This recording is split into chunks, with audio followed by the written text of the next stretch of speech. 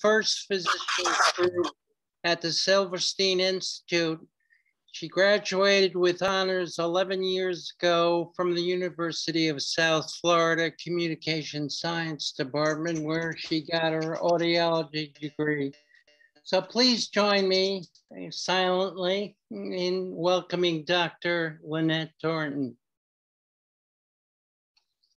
I'm going to stop the share and then I'm going to um, remove the spotlight from Ed and I'm going to have to find you where you where you land. Okay, Lynette, spotlight you. Okay, so you can click on, it's all yours. So click on the share screen.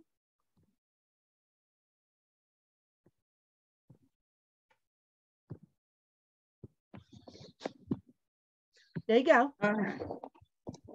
I'm going the wrong way though. Okay. So thank you guys for having me today. I have uh, my friend and boss and colleague, Dr. Sharon Rende over here uh, with me as well. I have the tendency to get a little technical when I give these talks. So I have uh, Sharon here to help uh, simplify things and explain things in a, a bit less sciencey, technical engineering type of way. Okay, so um, let's get started. Wow, what a big time in uh, the hearing industry right now.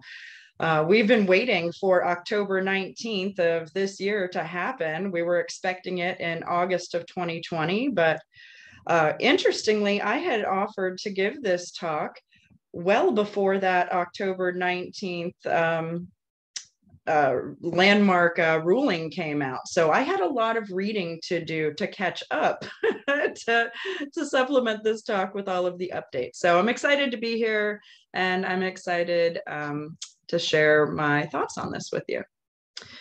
So of course I have to do my presenter disclosure. Uh, financial, I am a clinical and research audiologist at Silverstein Institute First Physicians Group. I am also a dispensing audiologist through an LLC called Concierge Hearing Devices. Non-financial, I'm a member of AAA, ASHA, and I'm also the audiology consultant for the Ear Research Foundation. Uh, and possibly the most important uh, disclosure on here is that every product that I'm going to mention, I'm not trying to advocate for any specific thing. Uh, when Ed and I first spoke about me giving this presentation, the thing that I wanted most was to give persons with hearing loss unbiased information and that's truly my objective. So any opinions that I express are solely those of mine, not my employer, not of the foundations or academies that I'm a part of. Okay. Um, let's see here. Oh, Deb, uh, Debbie, I'm sorry.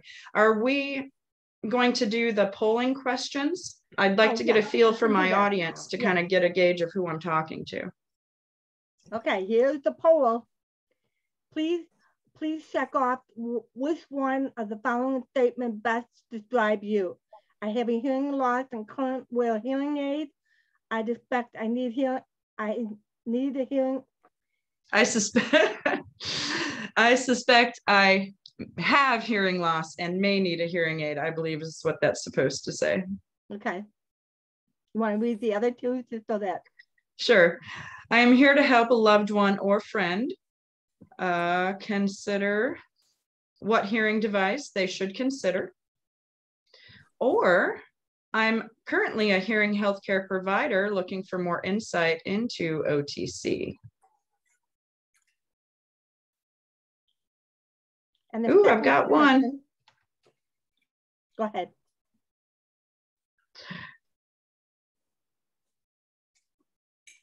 All right.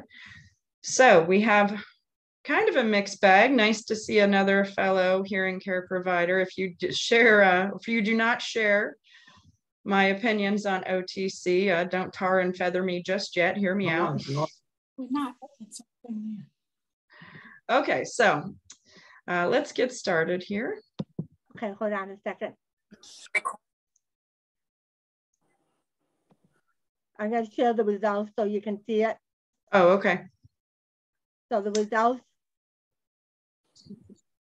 So most people here have hearing aids.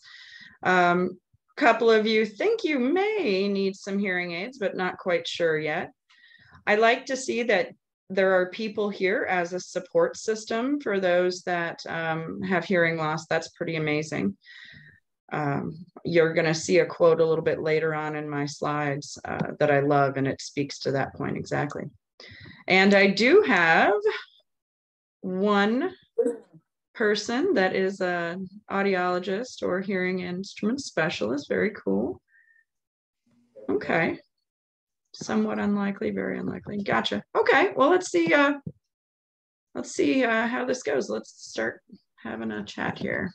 I'm trying to minimize this poll, but it's getting stuck in my way. Okay, so what am I trying to achieve today when I'm giving this talk? Well, first off, I think we've all been waiting a long time for a definition of what is an OTC hearing aid. Uh, so I do intend to go over that. Also, what's the difference between an OTC hearing aid and the prescribed ones that we are so used to um, you know seeing providers to get and having hearing tests to get and all of the appointments and all of the things. So what's the difference there? Also what exactly is it that determines if a patient is going to be successful with a hearing aid? Is it the type of hearing aid? Is it the person doing the fitting? Is it both of those things? Is it the patient? It could be a lot of those things and we're going to kind of break it down um, and then lastly, I want to help hopefully guide uh, today's attendees to see if maybe an OTC hearing aid is something that they want to consider for themselves or a loved one. Or if maybe, given our talk, it's uh, determined that maybe a, a more prescribed hearing aid would be appropriate. Why do we need a talk like this? Well, a lot has happened in the last couple of years. Uh, we are in the middle of legal and regulatory changes rapidly. The entire landscape is changing. Uh, you see an abundance of things on the market. You can't open a newspaper or click on an internet browser these days without being inundated with uh, what are now called OTC hearing aids. Uh, and they have been using that term in marketing since the 2007 uh, bill, which I'll get into a little bit later. Uh, but yeah, there's just a lot of uh, not wonderful marketing going on out there. And I'm finding that there's a lot of bad information. There is essentially no unbiased information for patients or consumers out there. Uh, a lot of my colleagues disagree with my stance on over-the-counter hearing aids, and and that's that's fine.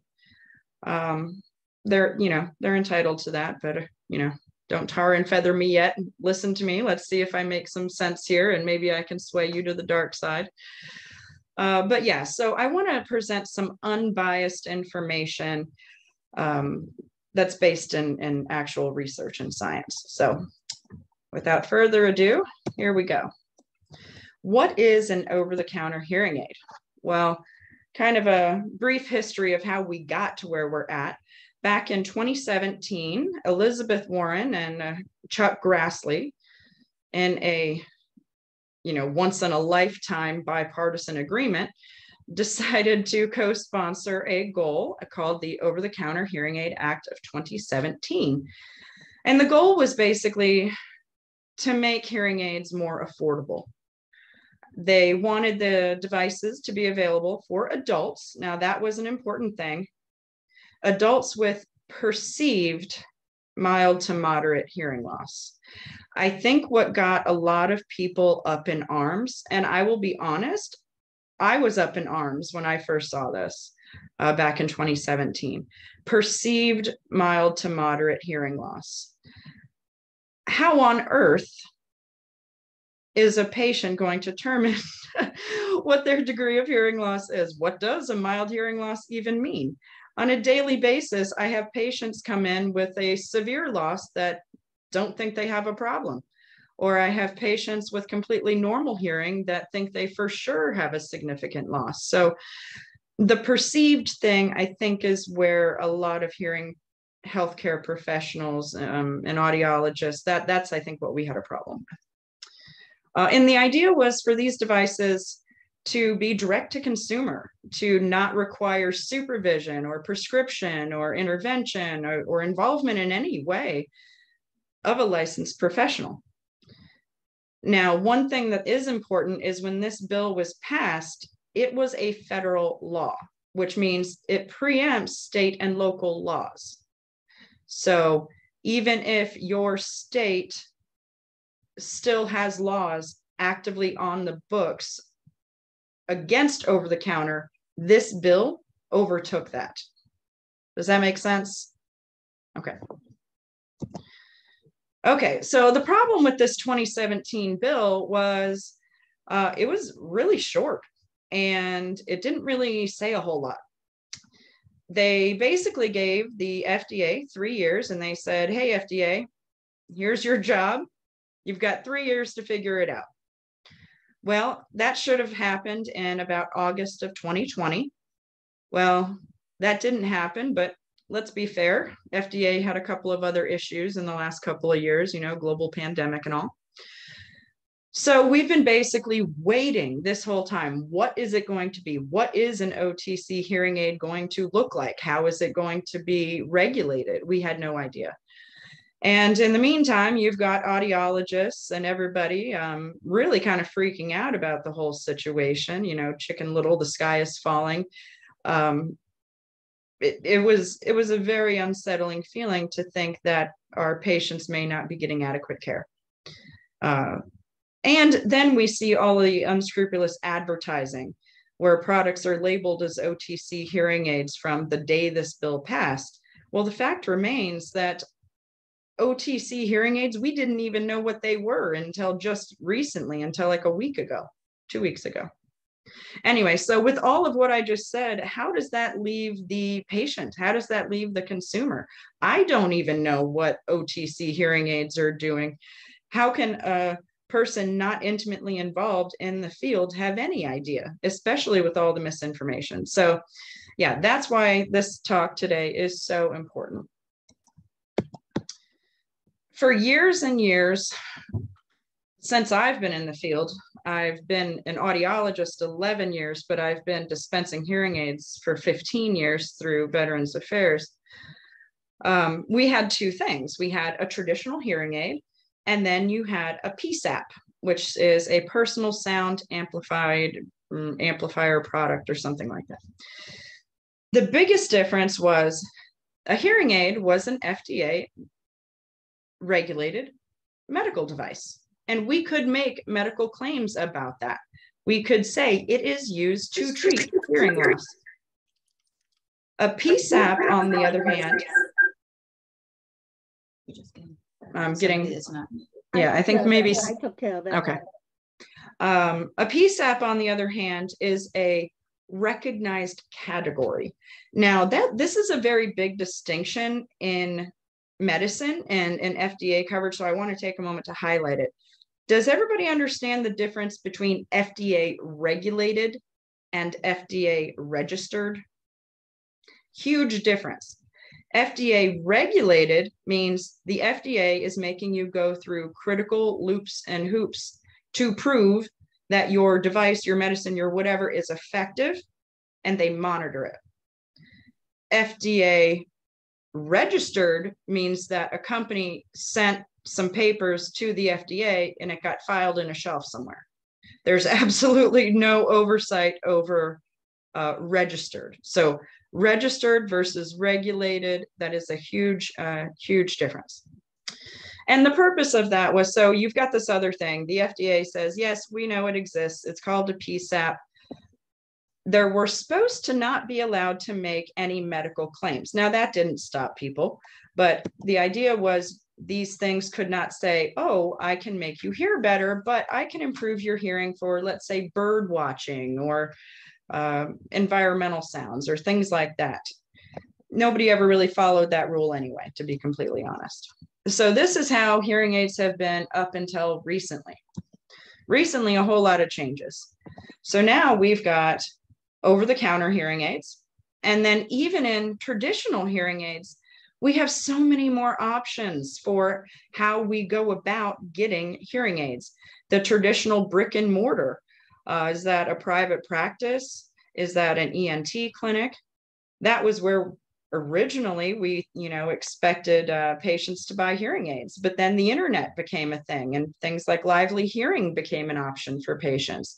Big box stores costco and sam's began offering products. Now again i'm not here to diss or advocate for any one of those service models. I'm just saying that these are um, you know the options that are currently available. So how does one choose which way to go so we've sat it for three years, scratching our heads. And then finally, on October 19th, 2021, big day in the industry, the FDA finally released its proposed guidelines for over the counter hearing aids. Now, it's currently in a 90 day review period.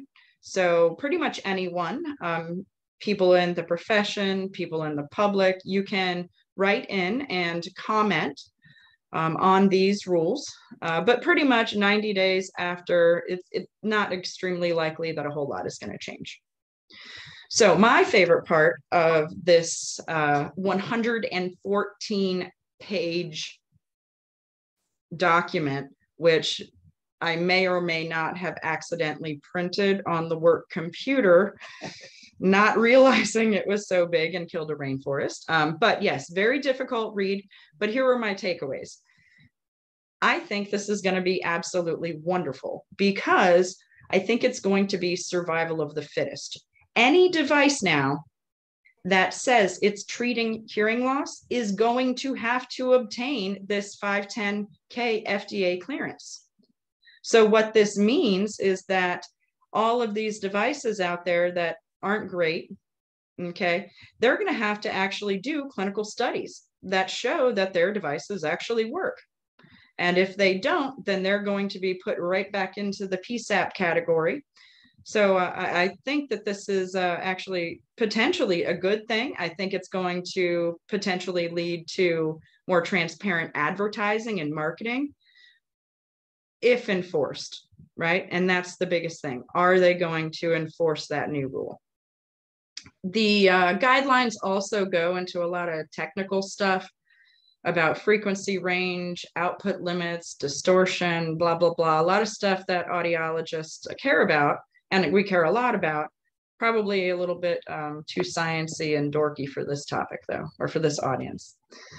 Uh, and then design requirements. They want to make sure that any device that is an OTC device is constructed with materials that aren't going to injure the patient maybe the speaker doesn't go too far into the ear canal or um, it's not uh, it has to be a hypoallergenic material things like that. Okay so who are otc hearing aids designed for? Persons with mild to moderate self-perceived hearing loss and again that word self-perceived is doing a lot of heavy lifting in that sentence uh, and these uh, patients have to be 18 years or older. Who are they not appropriate for? People with uh, traumatic deformities of the ear, active drainage in the last 90 days, a whole bunch of earwax, or maybe a foreign body in the ear, any type of pain or discomfort, pretty much any type of dizziness, chronic or acute, now, number six cracks me up, okay? Because the premise behind OTC hearing aids is that you do not need to have a hearing test. But one of these red flags is you have you're not allowed to have an audiometric airbone gap equal to or greater than 15 decibels at 500, 1000 and 2000 hertz.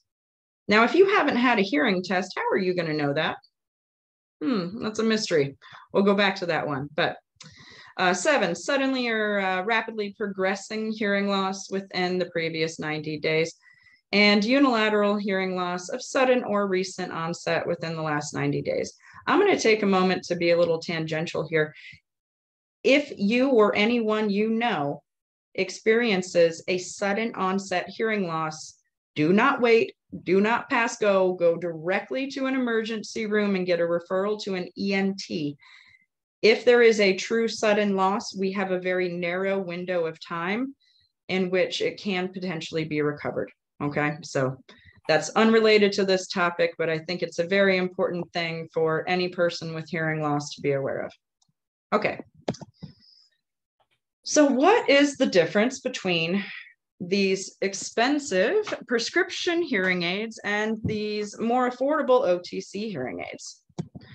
Well, a prescription hearing aid, you know, by the name is prescribed. A hearing test is used to prescribe the hearing aid. Over the counter, no test required.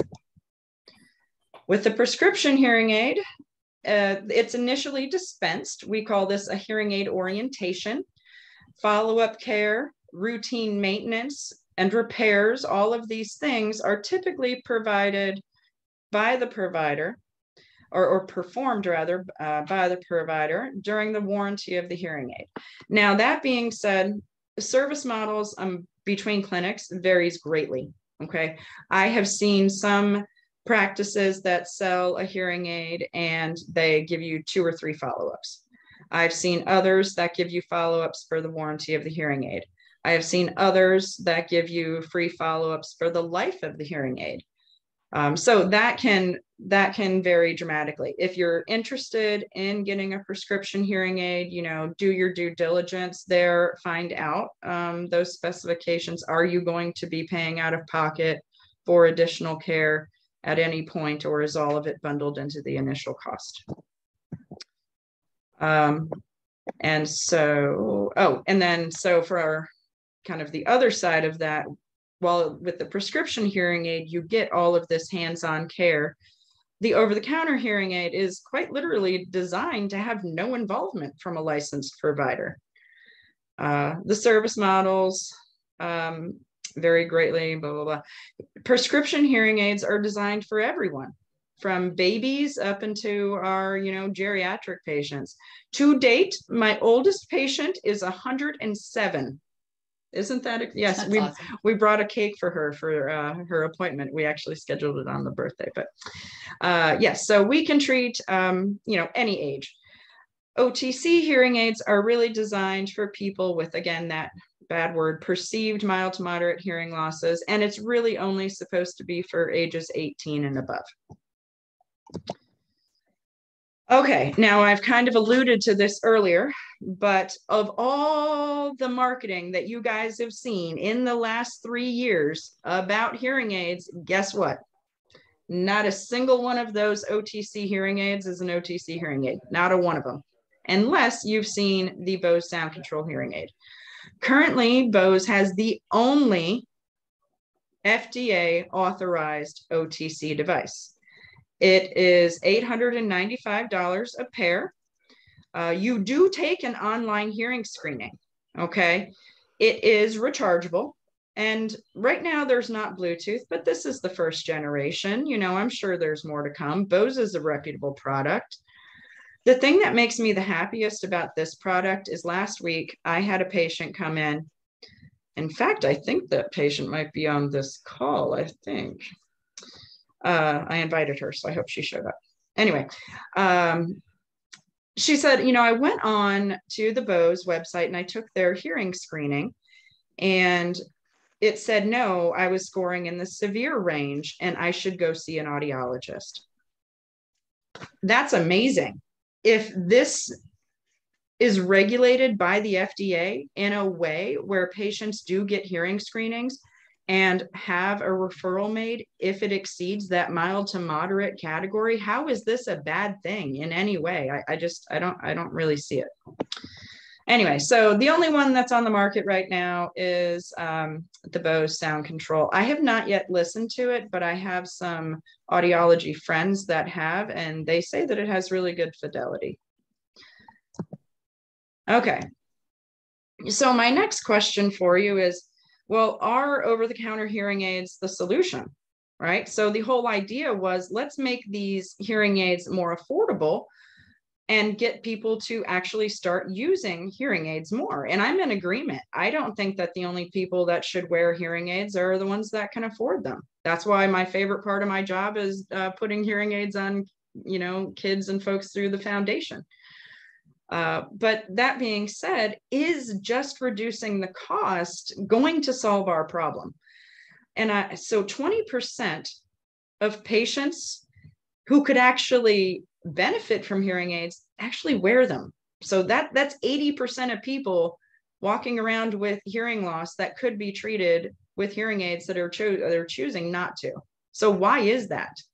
Is cost the only thing that's uh, preventing it? And I would argue no.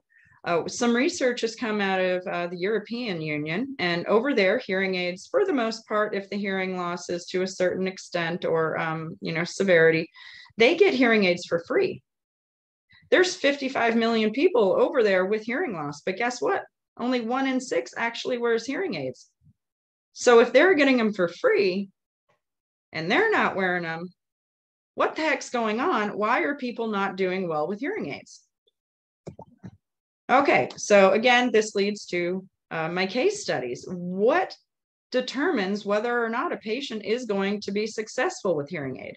Is it the instrument? You know, is it the widget? Is it the provider? Or is it a combination of both of those things? The most common reasons that I see patients fail with hearing aids, um, I've kind of broken it down into five things. Number one, the patient does not acknowledge hearing difficulty and they're not motivated to use hearing aids. Uh, two, they've waited too long to treat their hearing loss. This results in poor word understanding and auditory deprivation. Uh, maybe the hearing aid that they were dispensed isn't appropriate for their hearing loss. Luckily, I am happy to report that I've not seen that too often in my practice. Uh, most of the time, it's that it's not maybe prescribed correctly, but I've not seen too many cases where a hearing aid was just completely flippantly out um, out of bounds, you know, out of completely inappropriate for a loss. That gives me hope. Uh, so hearing aids are not prescribed appropriately. Now this number four, ding, ding, ding, this is, I think, where um, the magic is. Either people are given too much sound way too soon or verification is not used. And then lastly, maybe they weren't really ever taught how to use the hearing aids or they don't get follow-up care to maintain the hearing aids. A hearing aid that's full of wax is going to be more like an earplug than an amplifier. Okay, so I want to go and delve into each of these categories just a little bit more. Okay, so the first one the patient doesn't acknowledge that they have hearing difficulty and they're not motivated to wear them. Hearing aids have to be worn to be effective. Patients come into my office in denial all the time if I have a patient sitting across from me and their spouse is the only reason that they are in my office, and they tell me they are not going to wear their hearing aids a minimum of eight to 10 hours a day, I kindly suggest that they seek a different provider uh, because my patients do not fail with hearing aids. Okay. And the only way to succeed with hearing aids is to wear the hearing aids. I've actually uh, I've done that on several occasions. Um, I don't want to waste my time, and I don't want to waste the patient's time either. And a lot of times, you know, I, I feel bad doing that because I see the spouse, I see their their child or their their loved ones, and their help my help my you know significant other hear better. But the fact remains that we can't be motivated enough for that other person. Um, whether you think you can or you think you can't you're going to be right either way. And if this person is really not motivated to wear their hearing aids the everything that they hear with that hearing aid is going to be a problem right? Uh, but i feel bad in those situations because as Dr. Mark Ross brilliantly said, When someone in the family has a hearing loss, the entire family has a hearing problem. So normally after I get a little um, bossy, stern, stern with my patients, I am stern. Uh, usually I, I, I kind of pull the guilt trip on them and, and I'm able to motivate my patients quite well. So I don't have to turn people away often. It has happened, but not often. Usually I'm able to uh, make them see that their hearing loss isn't just affecting them, it's affecting everyone they communicate with. Okay, another reason people fail with hearing aids is well, you waited too long to treat it. You know, I think we know in every other aspect of our healthcare that the sooner we identify a problem and we treat it, the more treatable it is. Right? That makes sense. Why, when it comes to hearing loss, do we want to kick the can down the road and say, man, how bad can I let this get before I'm actually going to do something about it? And I see this all the time. Uh, so let me uh, kind of show you this graph because the reason waiting too long to treat the hearing loss is critical is because frankly, we do not hear with our ears. We hear with our brain let me show you this graph here.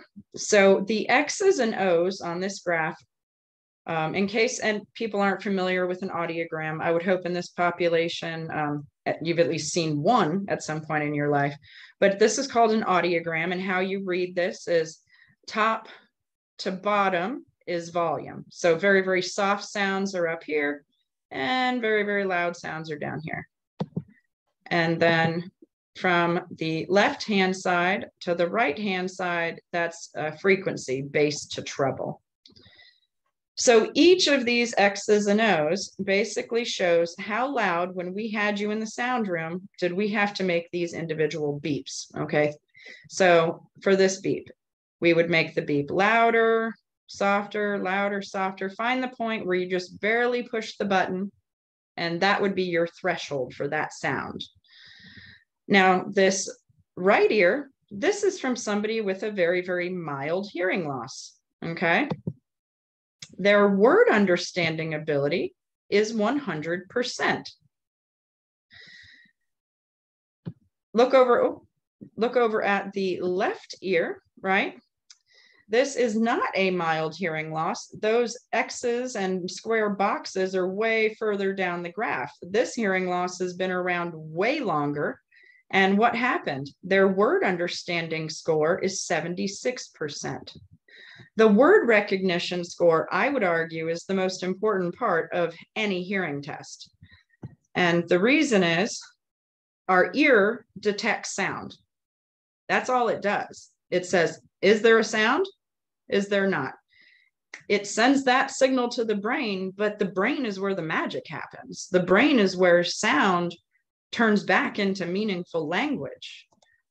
And over time, the pathways that connect our ear to the brain quite literally begin to shrink. They begin to atrophy, like a muscle would atrophy if you don't use it.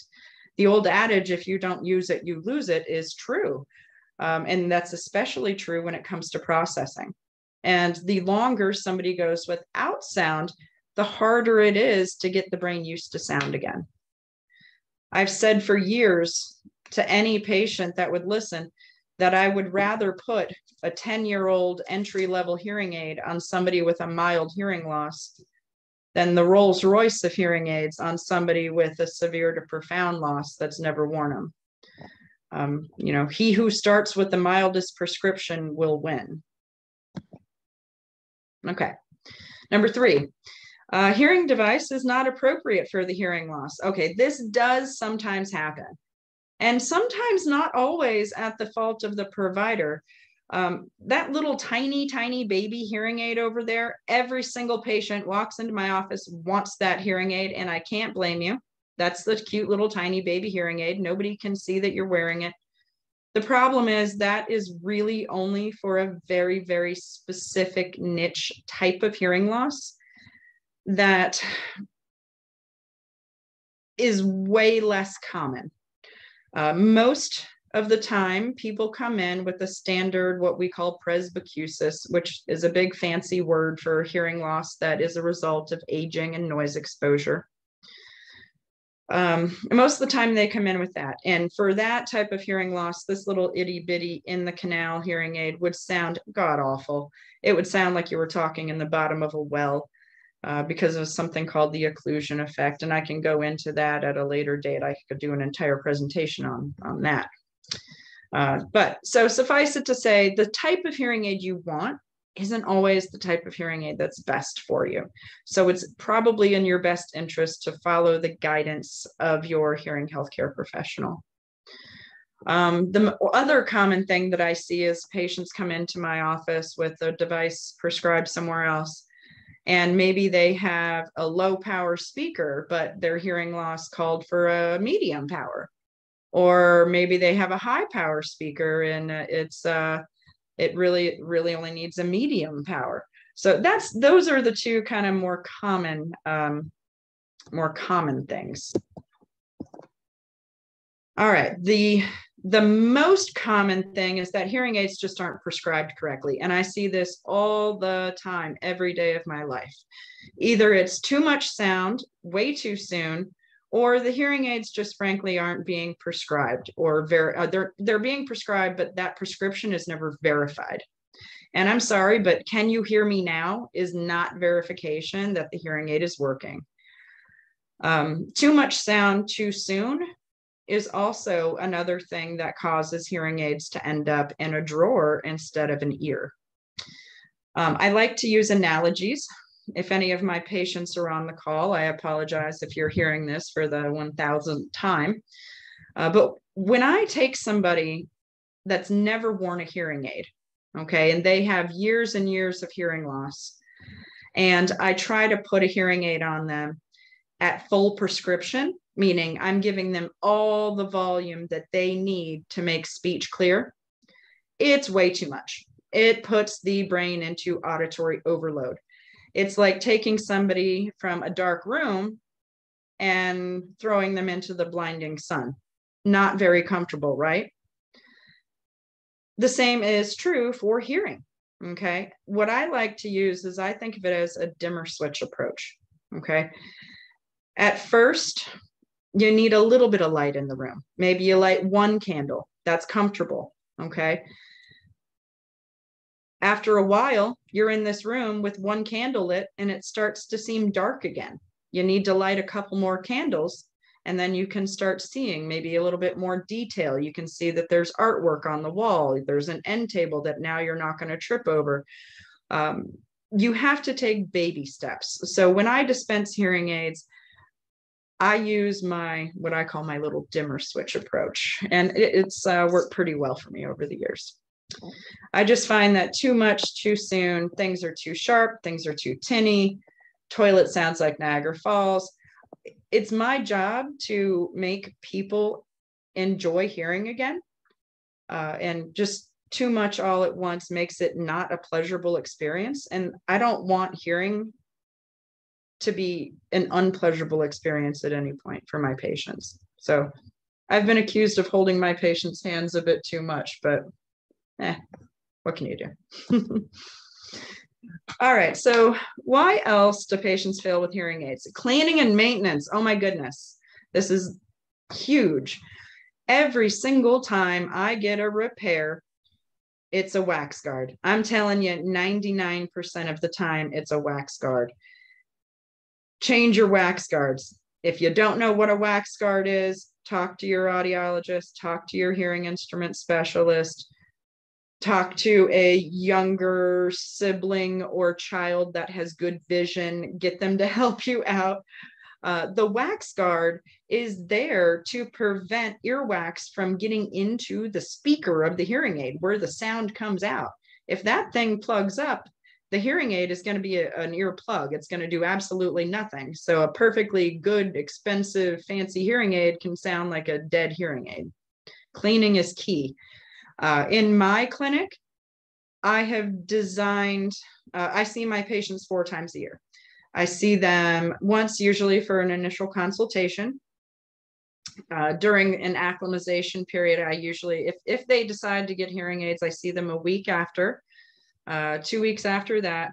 And then once I graduate them to full prescription, which we'll go into in just a moment here, once I graduate them, I'm still going to see these patients every four months. Okay. And there's a reason for this. Number one, I need to clean their hearing aids there's only so much you guys can do at home. I've got a lot of fun tools. I've got needle vacuums, I've got a bunch of brushes and suction chambers. Uh, it's my job to make sure the hearing aids last for as long as we need them to. You know, they say the average life of a hearing aid is is 3 to 5 years, and it's my goal to make sure they last every minute of that 3 to 5 years for you. And the best way to do that is routine cleaning and maintenance. Uh, also, hearing aids are computers they are more sophisticated computer chips than your iPhone or your Android smartphone or your uh, computer that you're on right now. That little tiny computer chip, I would argue, is way more sophisticated, believe it or not. Um, and they need software updates. So every so often, I need to have you come into the office. I need to connect your hearing aids to the computer, and I need to install software updates. Back in the day, this wasn't a big deal. Okay. But now all hearing aids, for the most part, connect to Bluetooth. And for those of you with hearing aids, that should have been another poll question is how many of you love Bluetooth? Bluetooth is great for persons with hearing loss that have uh, hearing aids, but it is the biggest nightmare for people on this side of the table. I think I'm half audiologist, half uh, Apple technician some days, but anyway, that's a uh, neither here nor there. Uh, so firmware updates. I need to see my patients every four months because I need to make sure that their hearing aids are up to date. Also, I'm spying on you. I know exactly how many hours a day you're wearing hearing aids. And if you're not wearing them, oh boy, I am so good at getting on a guilting soapbox. I mean, it's it's a skill set of mine to be to, to be completely honest. Uh, I really I think that truly the guilt. I think that's why my patients. I don't I don't think I'm really good at my job. I think it's the, it's it's the guilt that makes my patients wear the hearing aids. Um, an annual hearing test. Okay, this is huge for me. All right, first off, I love the idea of OTC hearing aids for mild to moderate losses. I think you've all gained uh, that bit of knowledge. But please get a hearing test. The the whole thing is, oh, you don't need a hearing test. You don't need an just get a hearing test. There are a million places, even on the websites, uh, on the internet, you can get a hearing screening. Medicare covers one hearing test a year. Get a hearing test. Have a decent baseline to start with. It would make your life so much better and the hearing aid works so much so much more uh, uh, successfully. Uh, annual retest. So it, at least get one test okay? Do if you do one thing get one test for me. My patients like clockwork get annual hearing tests. And it's crazy to me that somebody can get a hearing aid five years ago and then i say okay when's your last hearing test? Oh it was five years ago. Have you been wearing the same glasses for the last five years or do you occasionally go in and get your glasses your uh, you know prescription checked? Oh okay now i'm seeing the the book and you know the words clear. So yes my patients like clockwork every year annual hearing test. It's critical. Um, how am i doing on time? I can be a little bit chatty you're good keep going okay okay uh, so yes so that leads me to how hearing aids are actually prescribed. We have really fancy softwares. I'm not going to lie to you, there's not a whole lot that goes into programming a hearing aid in a software. Okay. We type in a hearing test, like the one on the graph. Our software goes and it says, okay, here's exactly how much volume you need for here, here, here, here, here, here, here. Granted, you know, there's a science and an art to fitting hearing aids. Some patients don't want as much volume as others. Some want to hear everything. They want to hear the blades of grass. So, you know, it's a science and an art, but the software makes a huge assumption. Okay. It makes the assumption using this little guy. This guy's name is KEMAR. He's what we use in a lot of acoustical research. his little thing in here is called a Zwislocki coupler. It's exactly two cc's in size. So it's exactly the same size as the average ear canal. So when we do, and we're creating, we're, we're creating all of these prescriptions, he's how we're doing it. So the problem is not everybody has a 2cc ear canal, right? The human ear is as unique as a fingerprint. Fun audiology fact, did you know that in the old days, mug shots were taken from the front and from the side because fingerprints had not yet been discovered and the most anatomically recognizable part of the body was the curves of the ear. Isn't that interesting? I think so. I'm full of uh, useless uh, audiology facts, but I make a really good partner in um, trivia. okay, so basically, sound changes in the space that it's in. If I'm speaking to you in a small room versus an auditorium, well, yeah, my voice is going to sound a lot different. So, how does this affect it? Well, if I assume that somebody has a 2cc ear, but their ear canal is actually a lot bigger than that, chances are I'm not giving them enough volume. I'm under amplifying them. And if somebody has an itty bitty small ear canal, and I'm assuming that their ear canal is larger, I'm probably over amplifying them. And if I do not do real ear verification, I have no idea. Which leads me to what the heck is real ear verification? Real ear verification is the gold standard. This is best practice uh, in how to perform dispensing audiology. So we know that not every ear is different. We know that every ear is like a fingerprint how can we make sure that that hearing aid is doing in that patient's ear what we think it's doing? And the answer is we measure it. So we take this little tiny microphone, okay? This little thing here is a microphone and we put it right next to the eardrum. I'm talking right next to the eardrum. And then we put the hearing aid in and we measure what the hearing aid is doing inside the patient's ear. So we know exactly if we're meeting their prescription.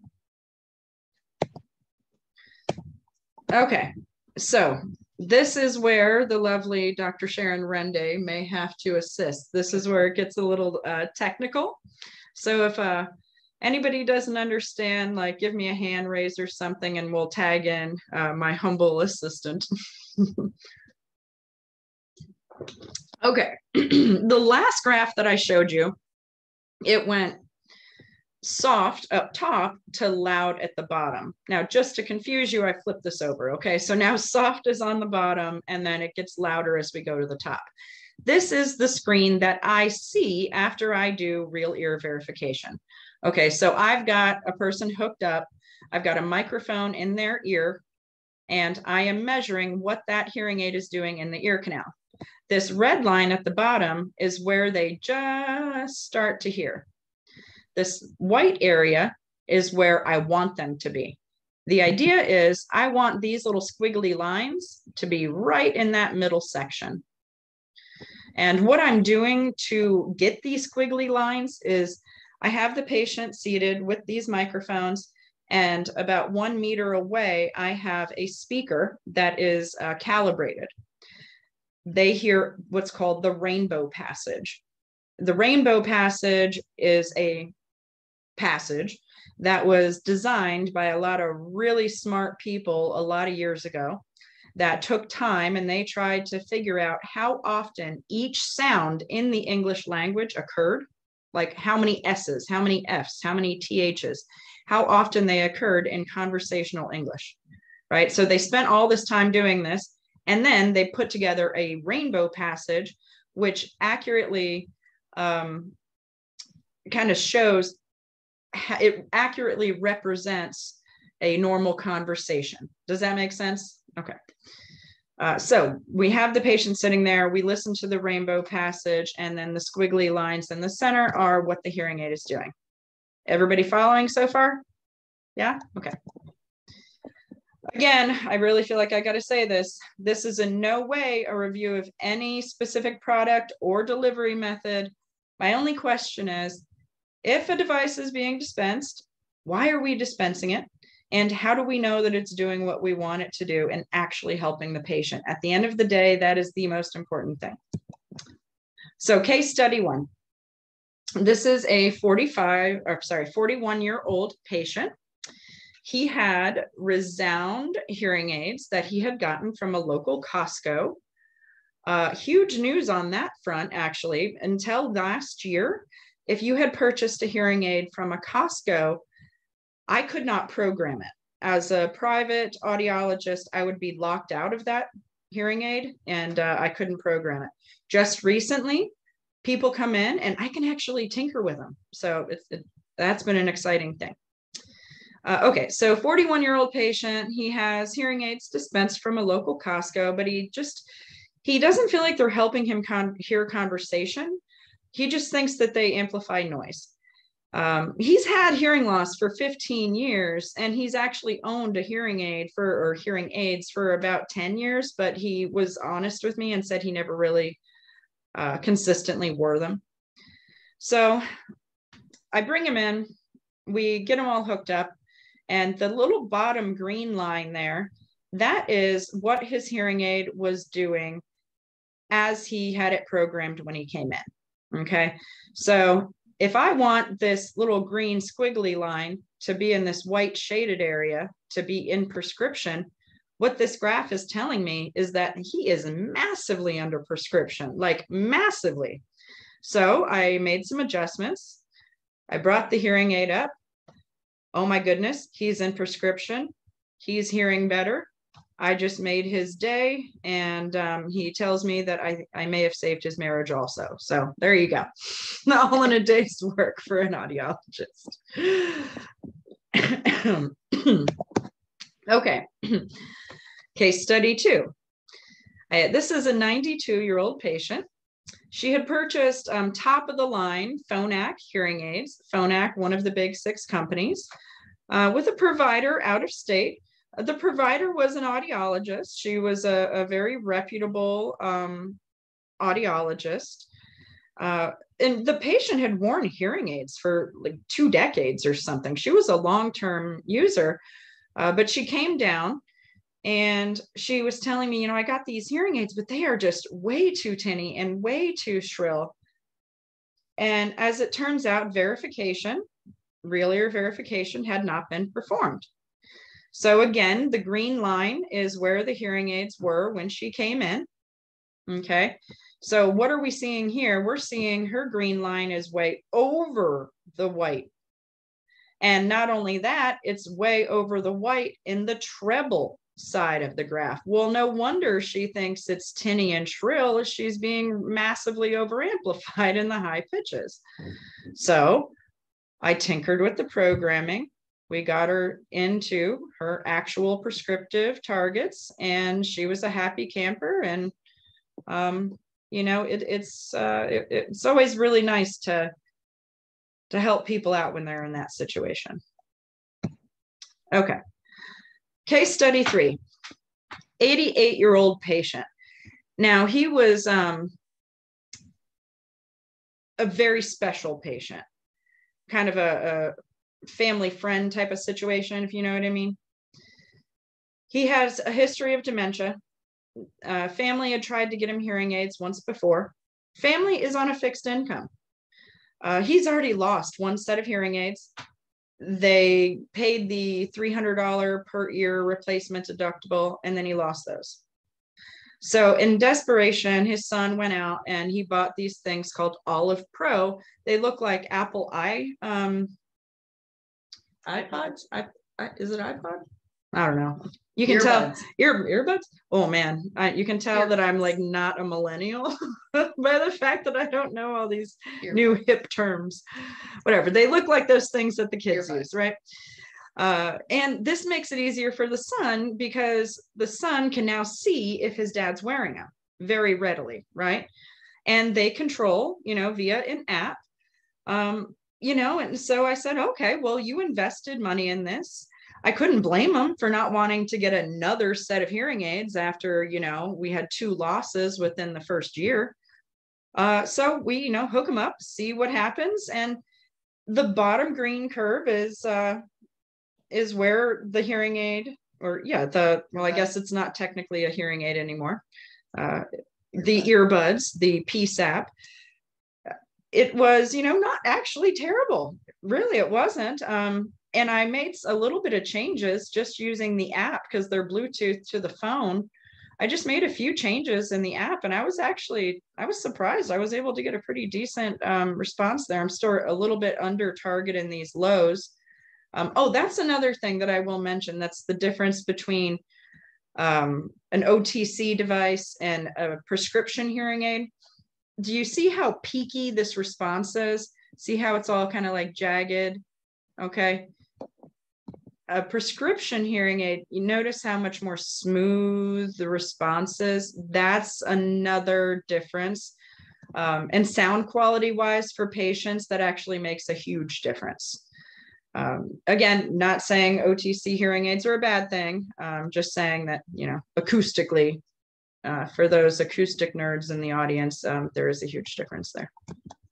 Okay, now, if any of my patients or hopefully some of my students got to jump on here uh, to watch this, um, I love analogies. So, what do you think? Which guitar, what rather, do you think sounds better? This 1956 Gibson Hummingbird, valued at oh just under 11 grand, or this more economical Rogue RA 90 for $70? I should have made this a poll question. Mm, retrospect. Okay. Well, I would argue that most of you are going to say the fancy schmancy hummingbird, right? Am I right? Can I can I get a yes? Yes. Okay. Well, now, what if I told you that the person playing that guitar, the fancy hummingbird, is that cute little dude, Abel, who is my nephew? I can assure you guys he has had no formal musical training.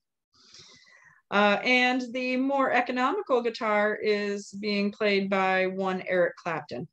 Now, which guitar do you think sounds better?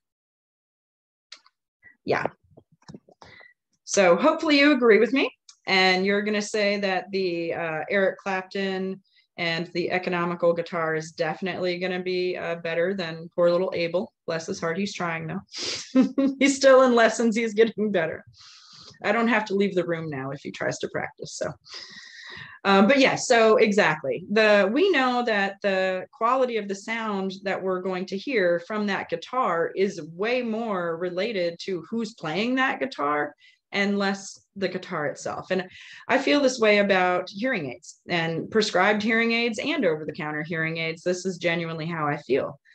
Um, I think the quality of the hearing aid fitting, is really based on the quality of uh, the standard of care and, and is verification used? Are we making sure that uh, we're actually helping the patient, right?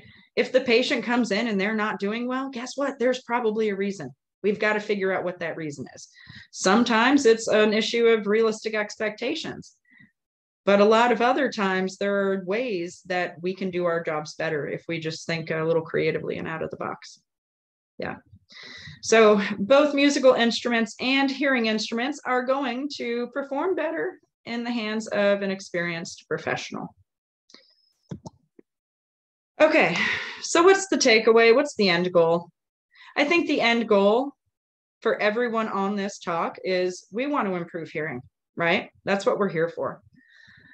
Any device regardless of technology, is going to function best in the hands of a professional following best practice standards, that being the key word. Okay. Not all professionals are created equal in any field I've ever met in my entire life, and the hearing healthcare industry is no different. Um, I like to think of over the counter hearing aids as the training wheels of hearing aids. what the heck do I mean by that? Well, Okay, so let's say that let's say that the FDA does really regulate it, okay, and they regulate it, and the manufacturers of these devices step up and they say, man, we're going to do what Bose is doing.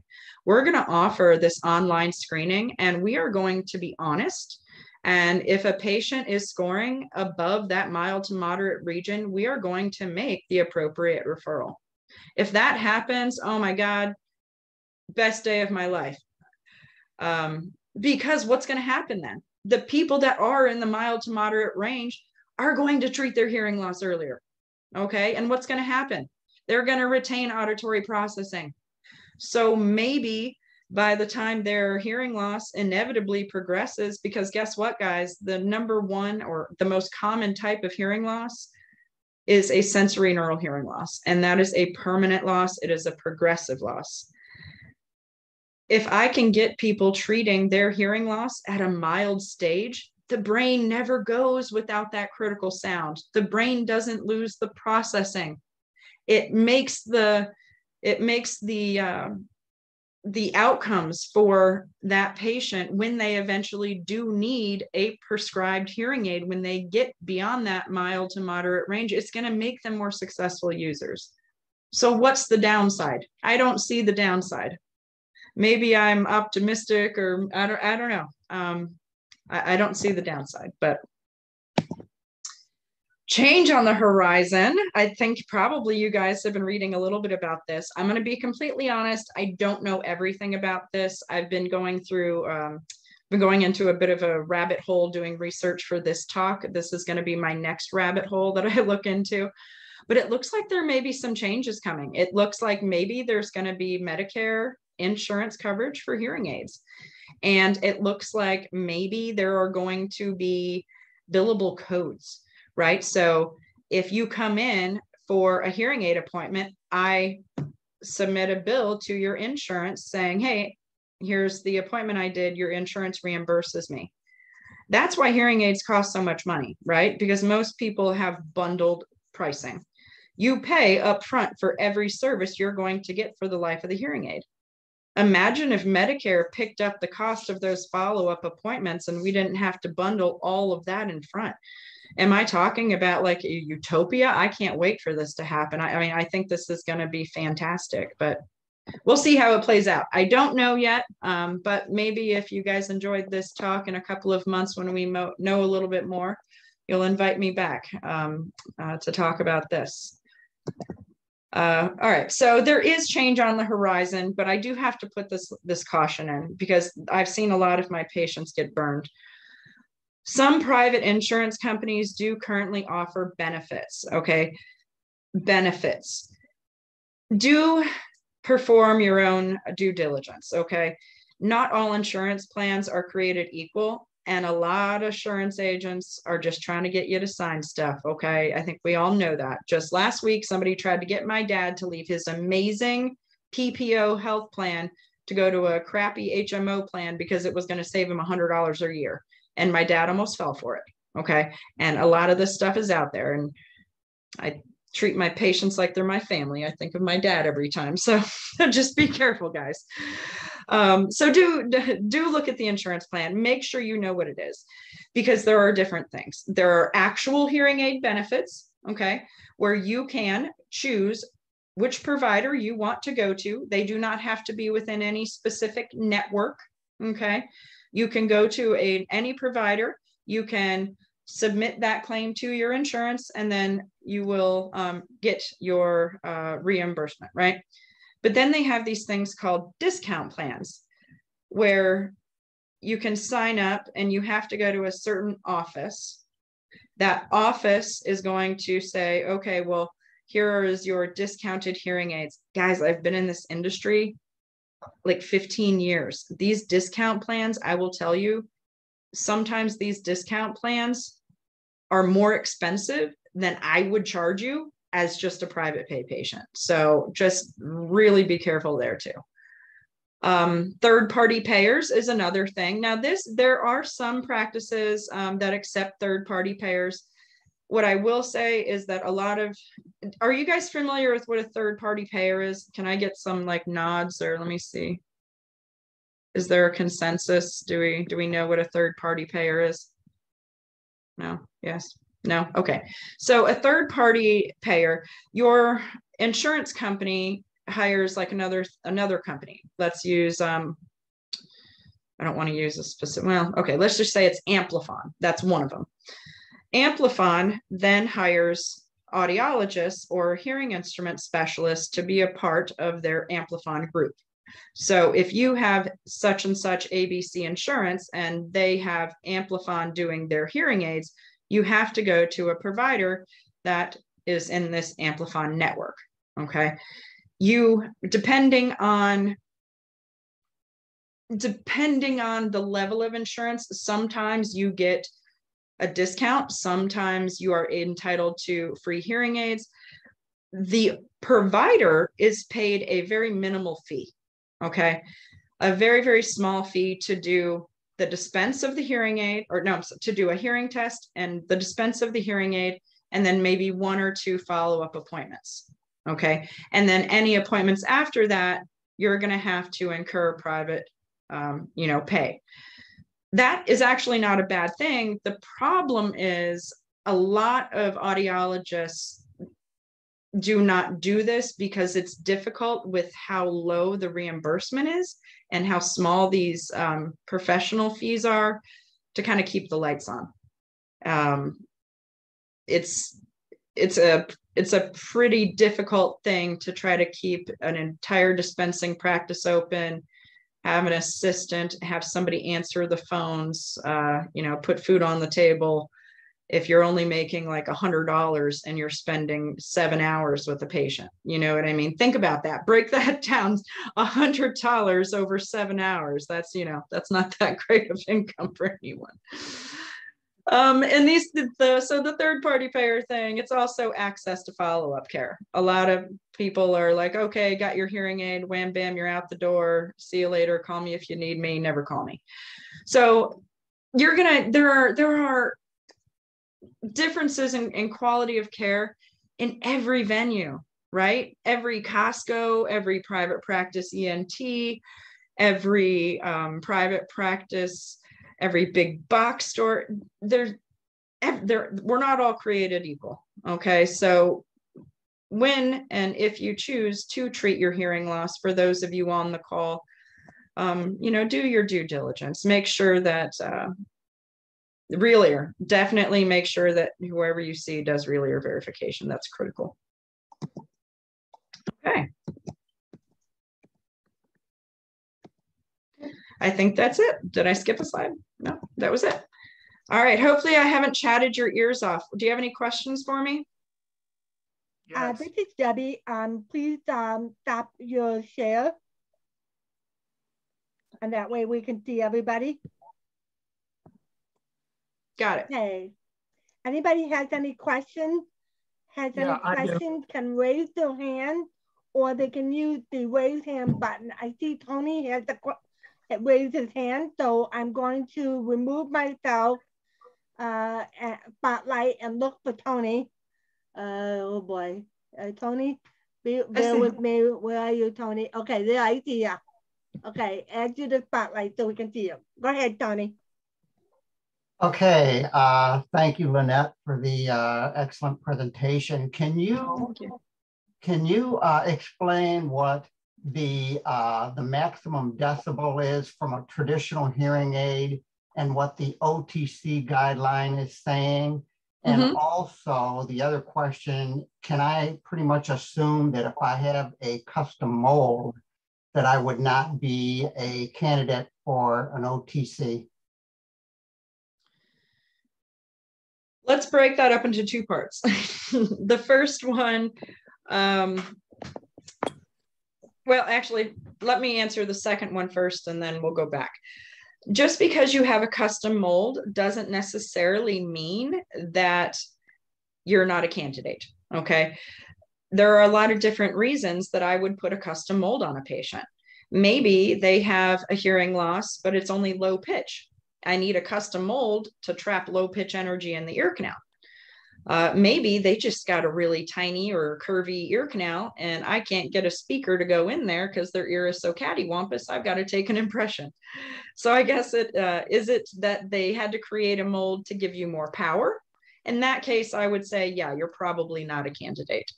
Um, or was it one of those other reasons? I would look at your hearing test. Um, and, and if you're not sure what it means, I'll give you my email address. Shoot me an email. I'll send it in an attachment, and I'll um, I'll go over it with you. Are we allowed to do that? Can you send it to me in an attachment, or is that a HIPAA violation? If he's sending it, he's sharing your information. That's okay. Okay. All right. So apparently that's okay. And then the Uh, oh, what was the first? What was the Second first part? the- the decibel output, Oh, okay. traditional and an OTC. Sure. Um, so the so we that's all the nerdy stuff. Are you an engineer? Yes, I love you guys. Oh, well, you speak my language. Okay. So um, right now, the limits for the OTC is 115 decibel max output without some type of adaptive gain control, right? So if the device has some type of a volume control, then they'll allow it to go to 120 if it does not, they'll they cap it at 115. That seems like a lot It does seem like a lot, and it makes me a bit nervous, to be honest with you. Mhm. for a moderate loss. For a moderate, yeah, I know that that does make me a bit nervous. I read that too. Um, and frequency range they're saying is going to be anywhere from about 250 to 5,000 hertz. Now, that does not mean that every OTC that comes on the market is going to have that, um, but I that's kind of um, I think going to be one of the things.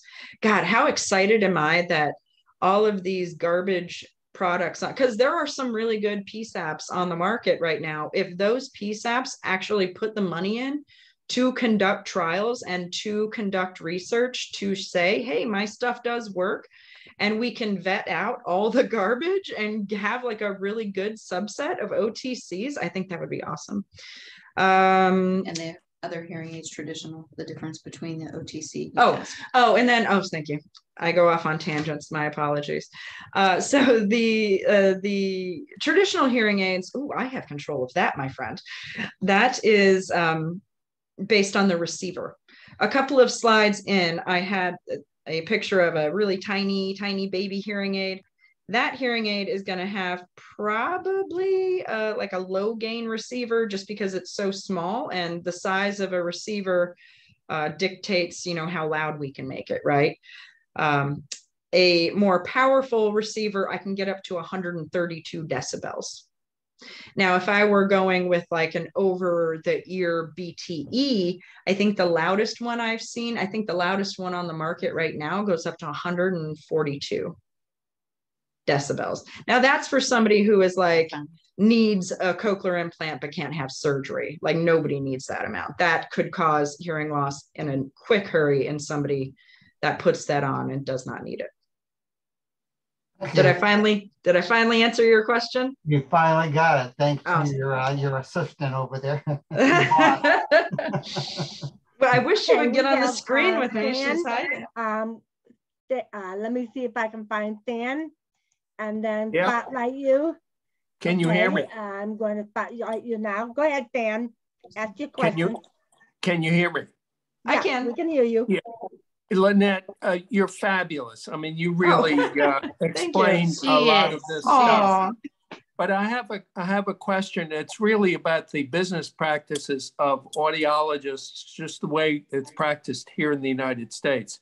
Sure. Um, you were saying, I mean, there seems to be no reason now that uh, all of this stuff has to be bundled. I mean, audiologists could charge separately for fitting, hearing test, uh, repairs, cleaning. Uh, there doesn't seem to be any, any reason that it can't be bu- can be uh, unbundled even before you have third-party Medicare, which from from the way the politics look, is going to be far off. Yeah. So yeah. I'm I'm just saying because I was giving a presentation to the group and uh, uh, I got mine through a government program where instead of seven thousand dollars, the government cost was eight hundred and twenty-four just for the instrument. So Nice. all the other stuff is you know profit cleaning rent all the other stuff um, and and my my feeling is that if the audiologist did unbundle even before Medicare comes along, the increase in volume of people who would flock to the offices, especially yours, uh, would would overcome any any loss of advantage that you have with bundling. Yes, I absolutely agree. Let me tell you a little story about that. okay.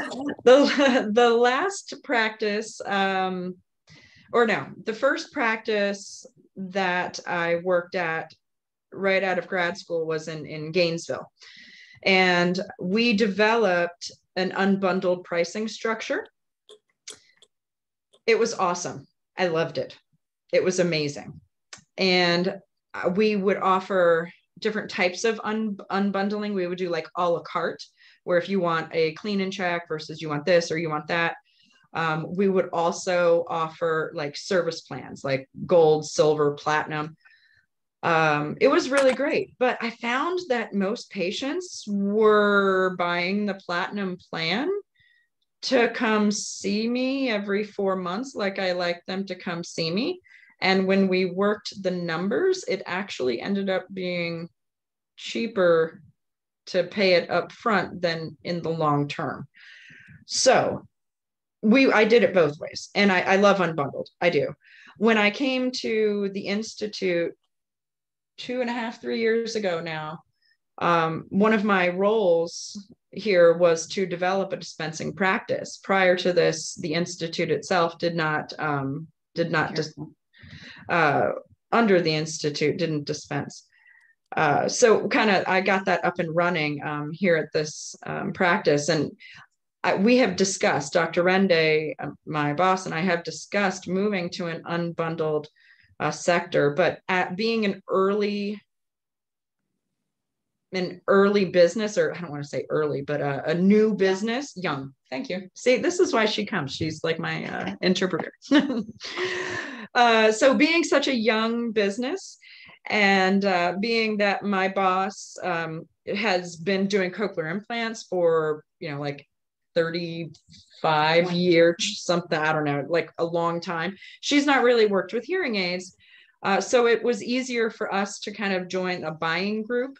And in doing so that about it i don't know how technical i can get in this but um, it the way that we purchase hearing aids makes it a little bit necessary for us to charge on the front end if we were to restructure which is absolutely in the realm of uh, possibility especially with all of these changes um, um, yeah I, I would be absolutely stoked. I'll chime in. I think that we um, keep looking at this and reassessing it. My one concern is when you unbundle, my fear is the patient will buy the device and not come back for those routine services. If they feel that they have to pay every time to come in to get their hearing aid checked or cleaned or serviced or come in for a problem and they know I'm going to charge, I don't know, throwing out a fee, $100 a visit, then they may be less likely to maintain that device and to come back for those services. Um, and I think, especially in healthcare now, I mean, we have patients, even from the healthcare perspective, that sometimes don't want to come back because they don't want to pay that copay every time. Um, so I think that's one thing that I've kind of looked at is, you know, is it better to pay it up front and let them know they can come in as frequently and as much as they need to to have the services and not feel like they're being charged every time for every little thing they come in for. And I think our seniors see that and lived on fixed incomes and Medicare and they're having copays with all of it. So we do mm-hmm. kind of look at it in both ways. And when we were starting out, it was an a more seamless way for us to get everything going, but we are starting to relook, and especially with over the counter, how can we provide that? And how can we, I'm sorry, our cleaning people just started. So you hear a vacuum in the background. We'll see if we can Hi, get I'm it. sorry. Can you, can, uh, we're doing a Um, presentation in here. Can, can you Oh, wait yeah. to vacuum? Awesome. Thank you. So um, I think that we are with the over the counter now going to look at can we offer both? Can we give the patient an option to bundle and a patient an option for a service contractor look at it um, in a different way? And especially because we do have a lot of snowbirds um, and patients that aren't with us 12 months out of the year. So I think it's it's um, something that always needs to be re, re, re, re looked at, revisited. Mm-hmm. Well, I, I come down to Sarasota, so it, it wouldn't be hard for me to come over there. But but um, what's interesting is um, this discussion that you just had, and, and there are there there are uh, things that are, are beneficial on both sides. Right. The question is, somebody's going to have to do it to run a real world experiment because right now we just have predominantly the bundled model. And, you know, I think would be different, but you bring up some very good, very good points by people. Mm -hmm. Oh, I lost your audio. We lost your audio. I'm sorry. I, I accidentally, okay. I accidentally muted him. I'm sorry. That's okay. Okay.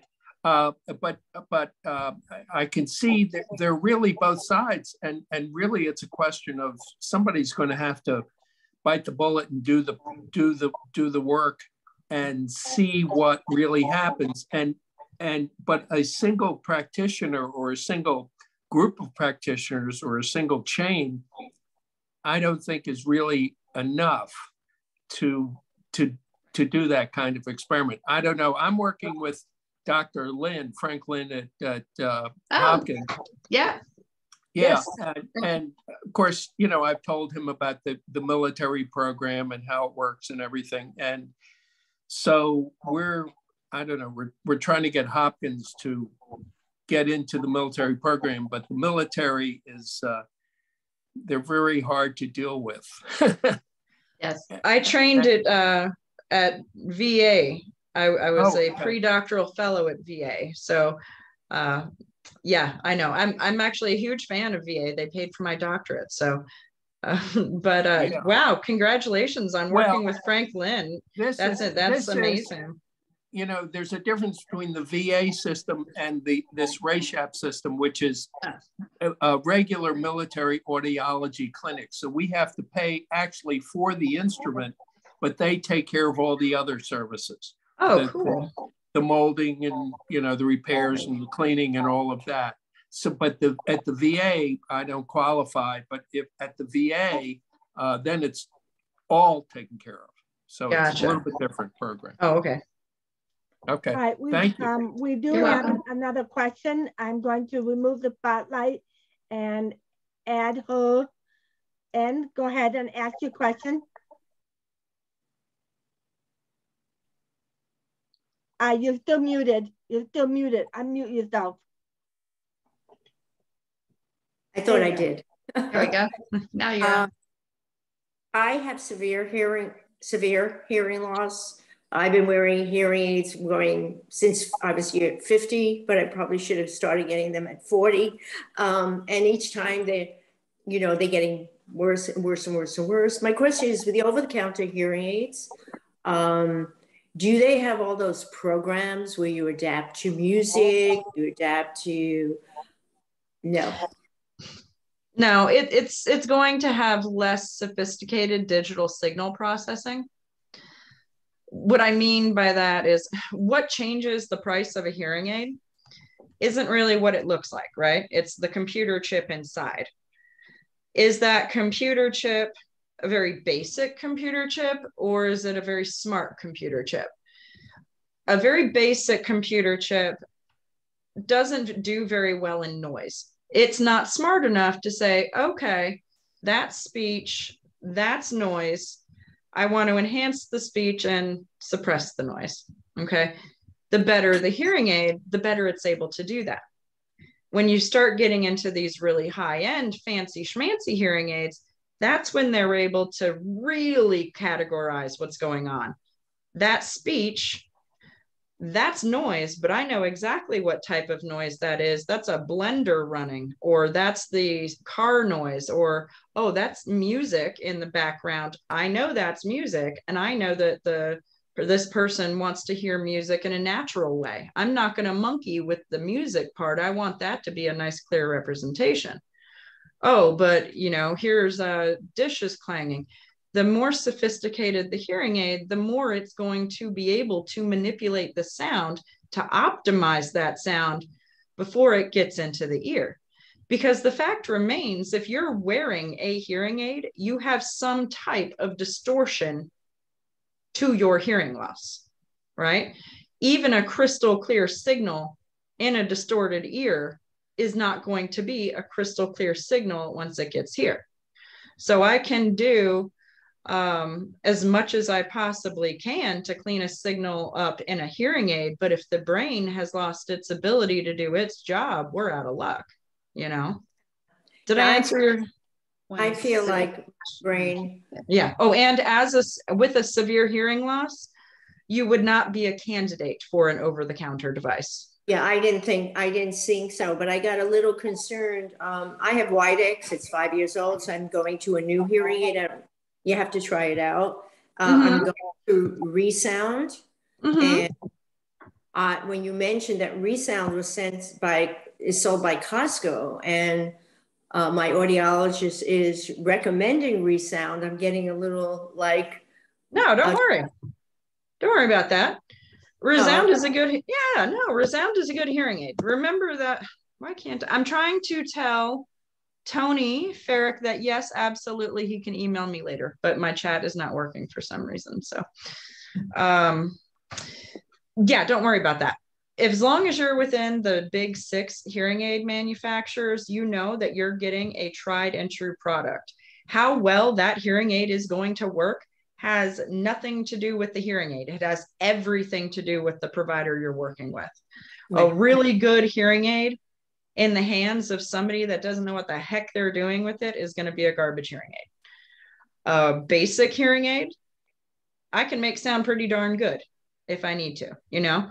And I, I like to think that, you know, Costco is an avenue for people and you can get top of the line hearing aids for um, a lot less than I can buy hearing aids for. I'm not going to lie. You can buy hearing aids at Costco for less than I can buy hearing aids from the companies. Our, our for, price. Like our costs. It's yeah. ridiculous. And it's why a lot of audiologists are so ticked off at big box stores. But you know what? The way I see it, there's so many people with hearing loss. Only 20% of them treat. I'm not trying to compete. If somebody is getting some type of hearing treatment, we're all in this together you know? We're all in this together. Um we, we i don't know. I went on a tangent one more question from libby. I want to go to her. uh, mm-hmm. so and that will be uh, almost the last question. Okay. go ahead libby.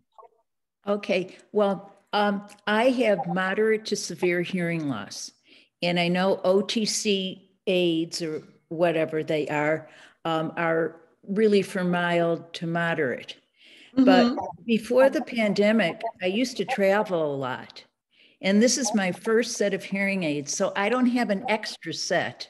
Mm-hmm. Okay. But one of your concerns or my concerns is when I travel, you know, it's always good to to be prepared in case you lose something. Mm-hmm. So I thought when I started reading about these, oh, this might be a good idea to have something like this just in case I'm uh, in Africa and and lose my hearing aids. And would something like this even work? Would I even be able to hear with it? Would it be better than no hearing aids?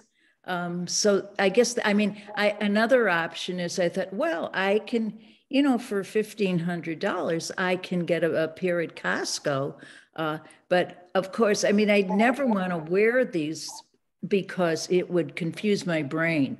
Mm-hmm. Well, you know, you know, something something's better than nothing. I would say. Um, I would argue, or I would say that if you do get something over the counter, uh, find a provider in your area that does real ear verification and ask them if they would be willing to take a little bit of time to yeah. do real ear on the device and see if it's actually helpful. Um, not a lot of people will do that. I'm going to be completely honest. Yeah. I think I may be the only one. And I think actually, Yeah. And a, and a back and a backup at Costco is fine, but again, one of the problems is Costco doesn't really do real ears. So either Yeah. way, you would have to. I would recommend seeing now that Costco hearing aids can be programmed by somewhere else. It's been a lot better. well, I'm, you know, I'm, I'm hoping that about a year from now, I'll be due for another pair of hearing aids. And then I'll have these as a backup. Yes, But and the it's only, the only thing, and maybe this is question B, um, I, uh, it's my understanding that even hearing aids are, are in short supply now because. of- Oh my God, you are, oh, yeah. The chips to make hearing aids, I used to be able to see a patient, order a hearing aid and get it two days. Three weeks, four weeks. If I want to get a custom hearing aid, I'm waiting six weeks for a custom hearing aid. Yeah, it's no bueno. it's been a nightmare. And I've got a lot of ticked off patients and I can't do anything about Yeah. it. Oh, it's so frustrating. And it's not only that they're ticked off, I feel terrible because I've got patients that have they're going without hearing. And there's I, I have literally every demo trial hearing aid that I've ever had in my clinic is currently on a patient right now to give them something while their stuff sits out in repair. It's Because when we get in donations and, you know, patients will donate hearing aids or family members will donate and we try to, you know, refurbish them and keep them in stock. And we really have nothing left. I mean, just we try to fit something on so you have something while we're waiting. Um, or if we have a cochlear implant patient and they're demoing a hearing aid and we're trying to give them sound on the other side, um, we're doing that. And we're, we have to make sure that we keep a couple in the clinic to actually do testing or troubleshooting with because we're just giving them all out because we can't get parts. Yeah. Yeah. So what you're saying really is that OTC, this might be one possibility if this situation doesn't clear up to have just in. Well, OTC parts are going to be manufactured by the Same. same people that are making the hearing aid parts. So, There only one manufacturer that makes the main chip. Mm, I don't know. I've never heard There that. one microphone, the microphones. one or two No, they all use different microphones. Like Starkey uses the MEMS mic, and no. Um, This Sorry. is uh, Debbie Hagner. I have one quick question. Um, basically, what I'm concerned about is okay, you got this over-the-counter hearing aid for those who have mild to moderate hearing loss. Great. What happens if it breaks? Then what are they going to do with it? Mm-hmm. Where Well, I've- gonna take the thing to? Yeah. You guys, or send it back to the company? Because Company. You know, if this over the counter hearing aid is going to be a mail order thing, and that's Mhm. through you, through online mail ordering, what is it? What's going to happen if they broke it or drop it or, or fell in the toilet or, or, or the dog chewed on it? What's going to happen to all those over the counter hearing aids? I think, and when I've kind of stalked a few OTC websites um, and prepped for this talk, it looks like they have like accessories that you can purchase. Uh, like if your puppy chews up your receiver, you can go in and like click and choose which receiver you want, and they'll mail it to you. Um, because the hearing aids are modular now, right? So I can, let's say, like RIC hearing aids, right? The ones that go behind the ear, and it's not a tube; it's actually a wire these are modular these are these are great hearing aids because you can grow into them maybe you start out with a mild loss. I only need a low power speaker. God forbid but inevitably the hearing loss worsens it progresses. All i have to do is unplug one speaker and plug in a more powerful speaker and ta-da now i've got a more powerful hearing aid. Um, the problem is you know people are not uh, skilled at i can disassemble a hearing aid like a master mechanic can disassemble an engine um, i don't know that that same thing could be done by the average joe in house you know so I, I don't know i don't know that is a challenge that is a challenge And I think as service providers, we're going to have to figure out how to handle that challenge. You know, like we have people that walk in the office all the time um, and they come from other practices. And for the most part, we service them as a courtesy. Um, even though they might not be our patient. Um, a lot of times we will, and it kind of depends on the day and the, and and if we have the parts. Um, but I think we're going to have to really look at this from providing a service. You know, what do we charge? Do we charge an office visit? What? How do we charge for the parts? Do we even have the parts? I mean, if it's an over the counter that's private manufactured, private made, we may not even have access to the part. So I think this over the counter is going to change a lot of service models for a lot of us. Mhm. And that's where we were talking of bundling, unbundling, having different service plans and options available. So I think there are a lot of unknowns that are going to happen with with the OTCs. I, you know, that Okay, we're going to want to remove address. Myself, and we're gonna take one last question, and my God, you guys were fabulous. Um, Oh, thank you. fabulous, Well, it was all absolutely her. I just So you did in a at the great end. job. And Dan, Thank you you. may um, fly with your last question. You're muted, you're muted. you're muted.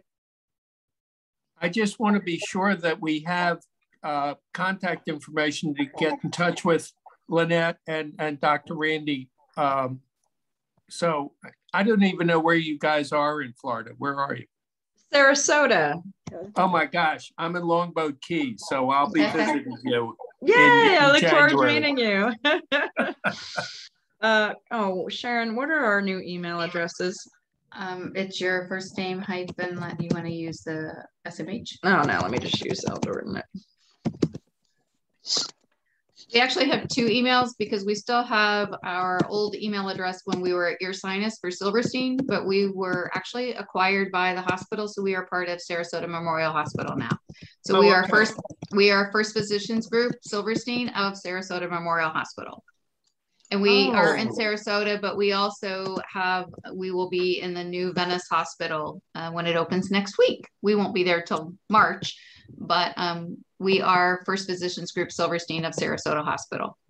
And, and um, all right, Lyn- Lynette, What you can do, folks, what you, uh, let me, let me. uh, But what you can do, also- folks, In the chat box, there's the three dots, the three dots in the chat box, and you can save the chat. Okay, perfect. Thank you. That way you don't have to write it down because I guarantee you, you're not gonna read your handwriting tomorrow. But if- and if you if you go to the Sarasota Memorial Hospital and just Google our names, it'll pull up our contact information, which is our first name hyphenated last name at SMH. So you can find us that way too. Okay, I, I want to thank you guys. We're really way over over our time. You, you guys did a fabulous job. Um, probably one of the best presentations. I am disappointed that we did not get the number we thought we were gonna get, but hey, 45, uh, 47 people. I'm a happy camper. And so um, hopefully, um, if anybody else has any questions, feel free to email me. I will type in my email. My name is spelled D-E-B-B-E. There's no I in my name. It's the legal spelling. Um, and so if you have any questions, you can contact me. And if there's anything I can do to help, if you're interested in this specific topic, please let me know that. And then we will consider that for future presentations. So any other last minute comments? Uh, I have a whole boatload of presentations already made. Uh, so if you, there's a specific topic that you guys are interested in, there's a strong possibility at some point in the last 15 years I've talked One of the about two it. of us have talked about that. yeah. Okay. Thank you for having um, us. Yeah, thank you. This was an absolute pleasure. I'm uh, And looking thank forward you, thank to you, thank you so much, and uh, have a great evening and happy Thanksgiving. I will I wish Yes. everybody uh, happy holidays and hope to see you uh, again. So so long. thank, thank you. Thanks, Debbie. It's great. Thank you. Thank you. It was wonderful. You're Oh. wonderful You Oh, made Cynthia. me like understand, your presentation was so understandable about the hearing loss and everything. I don't know if I'll remember it all, but thank you. It's Well, how do I see who's talking? This will this is recorded, so you can Oh. always go back into the YouTube, and I'll put it on there probably tom- uh, Monday. um, because I'm busy for the next couple of days and it'll probably be on YouTube Monday. And then you can watch it a hundred times till you get, get through. Okay, thank you. Bye. Or come visit me in person. Take a road trip. Yes. I'm Thank way you. funnier in person. Good program. Thank you. Okay.